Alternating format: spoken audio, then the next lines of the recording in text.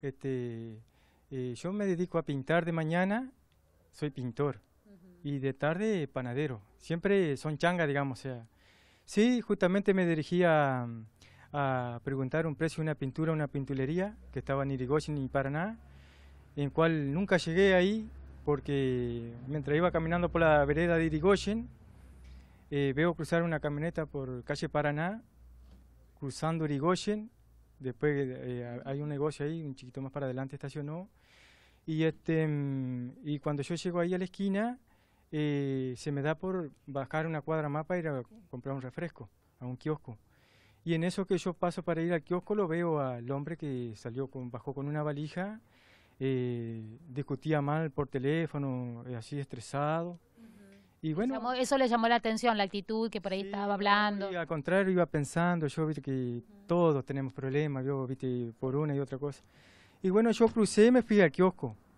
Luego que salgo del kiosco, yo veo que cuando salgo del kiosco, que me dirijo hacia calle Paraná para ir a la pintulería, este, el hombre se sube a la camioneta como estresado así, eh, se desespera así, sale, acelera así a, fondo, como quien dice.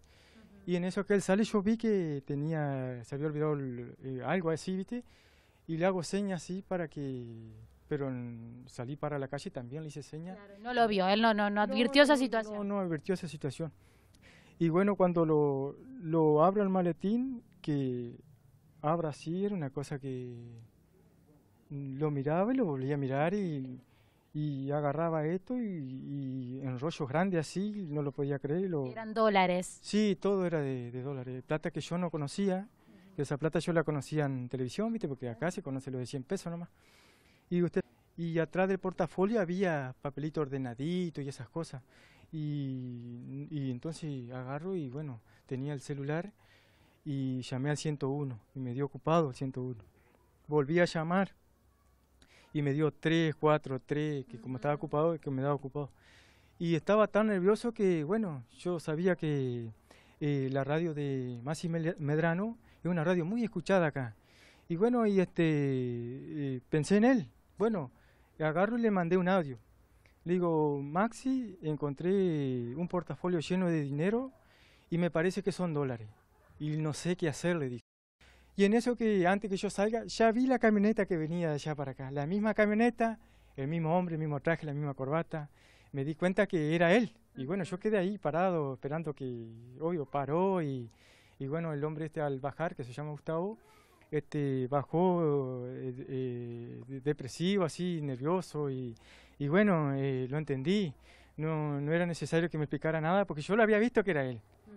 Porque mucha gente dijo por las redes que cómo supe yo que era ese hombre. Porque ya habías visto toda esa situación previa y te diste cuenta que era él que regresaba a buscar ese maletín. Sí, sí, exactamente, era ese mismo hombre y bueno, depresado y nos encontramos y él estresado, yo más estresado con lágrimas y, y era una cosa que no, tome, yo sé que es suyo, le digo, yo se lo entregué y bueno, ahí el hombre me dijo, bueno, dame tu número de teléfono, en dónde viví, todas esas cosas.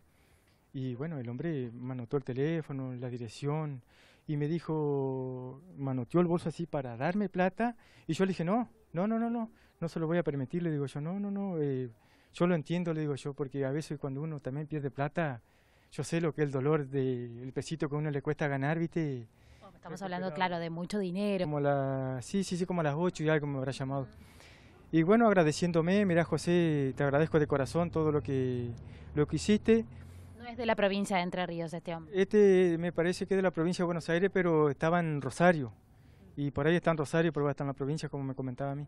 Y entonces este, este hombre, este me agradeció infinitamente de corazón, el hombre humilde, así también, eh, ¿viste? Y este, me preguntó este, si tenía casa, me prometió darme una casa, me prometió darme un millón de pesos, eh, pero yo le, de corazón le dije que no, que de ninguna manera, de ninguna manera quería, me dijo, mira José, este era un regalo que le quería hacer mi mujer, porque supuestamente había unas termas en venta entre San José o Villa Lisa.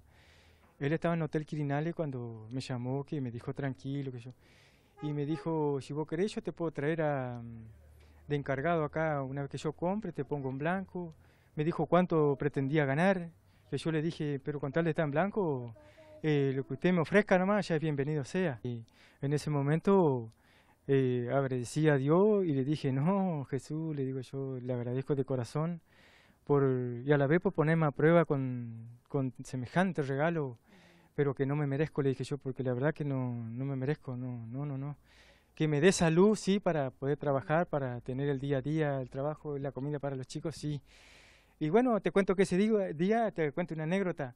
Este, no pude cobrar en ningún lado, porque por situaciones así de que no terminé. ¿Volviste con las manos vacías acá? Volví con la mano vacía y me acuerdo que comí fideo hervido y una milanesa de hígado, teniendo 20 millones de pesos que en ningún momento... Un ratito antes a las manos.